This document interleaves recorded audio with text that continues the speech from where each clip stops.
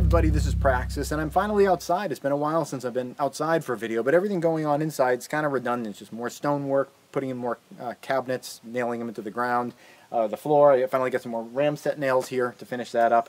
Uh, that's all pretty redundant, but what I'm doing out here is a little bit um, different, and I have a cool sort of tip for you that I'll share with you at the end of the video, so, uh, something I've been doing that's worked out pretty well. But I just want to tell you what I've been working on is this, the mailbox.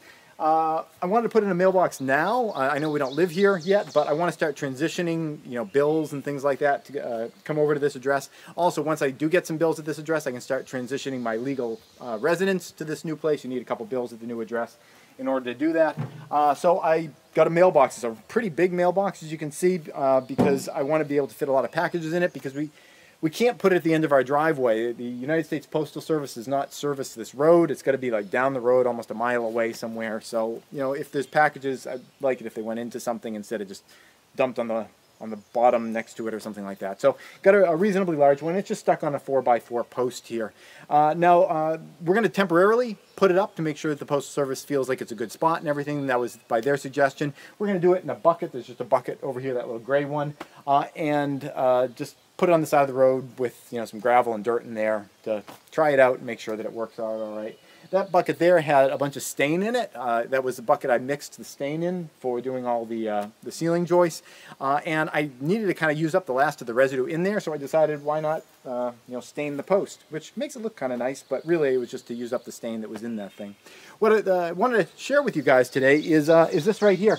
Um, I've been trying to keep the brushes from kind of hardening up with dipping them into, I think, I think it's like mineral spirits or paint thinner. I forget what I have in this one particularly, but you know, something to keep it so that the, the brushes don't harden up. And this is just uh, juice containers here, but uh, this worked out pretty neat. And I want to show you this.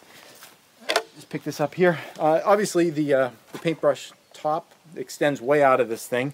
It has, it has, little ribs for kind of cleaning the brush too on the side, these little grip ribs. Um, but what's kind of neat is I took two of them and made it so that there's a bit of an overlap. The juice container is usually that high. And it's got this little indent here on both of them.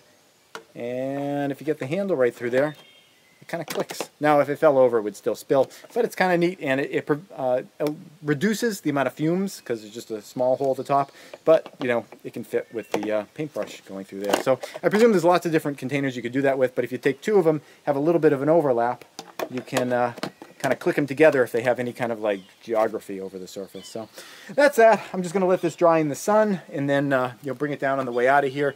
Check with the Postal Service, make sure that they like its location, and then I can start transferring bills over here. But for the rest of the day, just more concrete work on the stone wall and working on kitchen cupboards. That's it. Thanks for watching.